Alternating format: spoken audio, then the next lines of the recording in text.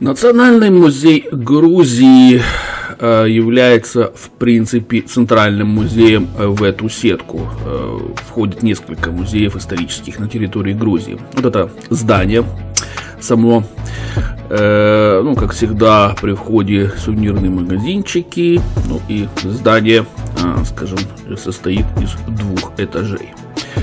Что же интересного здесь можно увидеть? Итак, едем потихонечку. Ну, вначале отдел природы рекомендую посетить по классике жанра. Бабочки разные, несколько вот таких вот э, панорамных мини-дисплеев.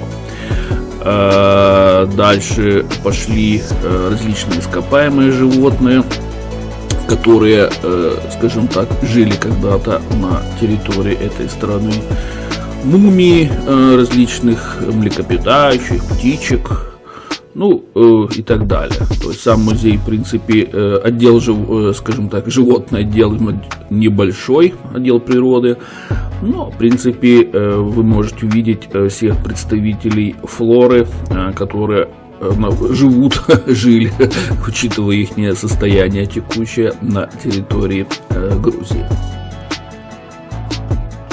так как Грузия большей частью горная страна, понятно, представители копытных бараны горные, это является их изюминка.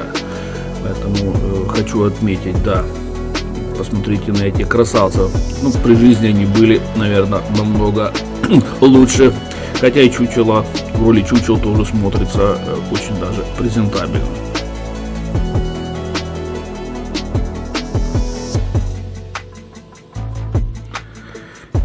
Небольшой отдел посвящен рыбам, э, хотя... А, вот это интересный, э, короче, какой-то такой микс из змей, которые в одну колбу позасовывали разных видов, не знаю почему, но больше я такого нигде не видел. Ну и другие заспиртованные, присмыкающиеся.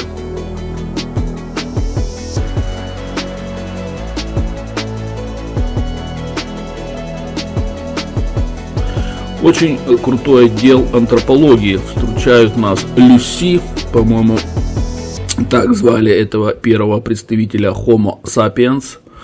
Ну и вот эти есть э, три черепа Homo sapiens. Э, такая вот панорамка, как развивался человек, как увеличивался его мозг со времени истории. Ну и в этом зале очень много э, черепов, э, даже для рядового человека Э, несведущего можно представить себе. Вот, кстати, даже сделана такая вот фигурка, как выглядели кроманьонцы, неандертальцы и другие ци, скажем так, предки Homo sapiens.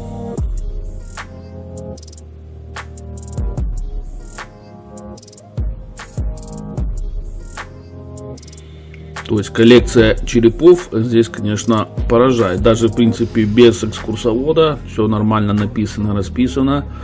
И можно, скажем так, иметь общее представление о тем, как развивалась, по крайней мере, черепа наших с вами предков. Ну, дальше пошел отдел археологии. Это, конечно, на любителя, хочу сказать сразу. То есть здесь классика жанра, э, различные горшочки, э, начиная с керамики, да, а, образцы э, украшений, жерелья всякие, образцы, скажем так, товаров быта и т.д. и т.п. То есть добавить здесь нечего. Кто любит. Мне, допустим, больше заинтриговала коллекция хорошего э, холодного оружия. Э, здесь, конечно, она действительно очень э, впечатляет.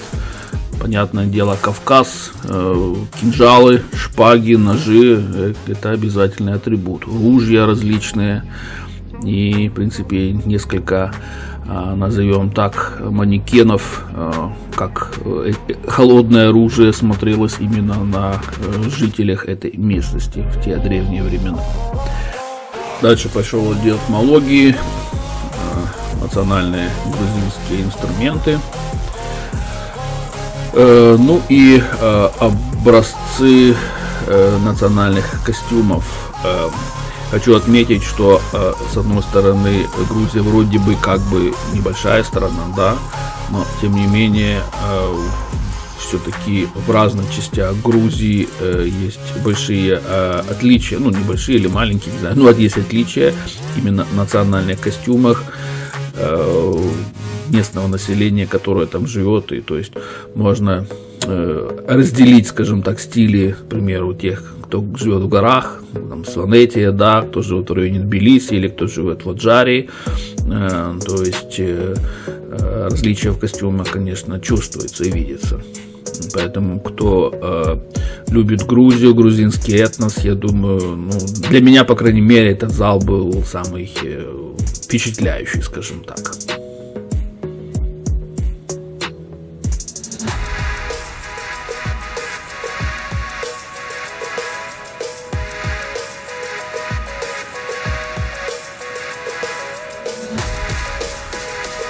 Есть такая небольшая э, мини-картинная галерея. Нет, картин немного, но они как бы есть. Ну и совсем э, маленький отдел, я даже не стал его развивать, э, который посвящен советскому периоду. Жизнь стала лучше, жизнь стала веселее, Иосиф Сталин. Так что добро пожаловать в Национальный музей Грузии.